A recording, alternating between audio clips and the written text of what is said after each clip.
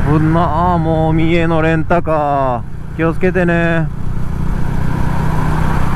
もうほんと今の車線変更悪意しかない。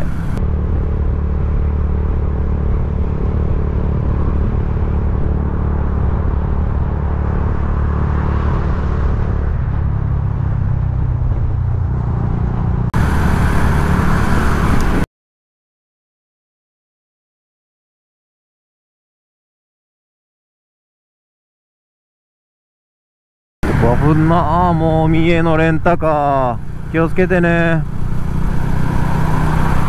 もうほんと今の車線変更。悪意しかない。左からの追い越しでしょ。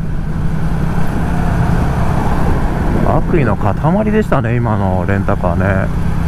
あのー、レンタカーだからといってね逮捕されないかってされますよ普通に。簡単に誰が乗ってたか分かりますからね。まあ本当今の三重のレンタカーの方は安全運転に改めていただかないともう逮捕されますよ。今の時点今の本当煽り運転ですからね左からの追い越し。急な車線変更。もうここですからね。ここ私も手の届く範囲ぐらいのところから車線変更されたんでね。まあ危ない。いう運転が多分状態化してるんでしょうね。たまたまね人生であの一度だけってはずないんでまあ本当にああいう運転する人は、まあ、免許取り消してもらって行っていただきたいなと。まあ本当あの人は運転改めないと事故すると思います今の。ギリギリで私の前車線変更入って左から追い越していった。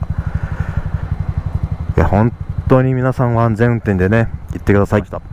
あの区間は制限速度いっぱい出してても危ないです。で細心の注意を払ってね走ってるんですけどまあああいう車が来ちゃうんですよね。それで危うくビクってなってブレーキかけましたけどね。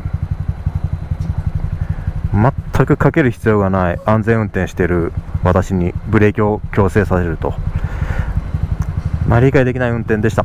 本当皆さんは安全運転でいってください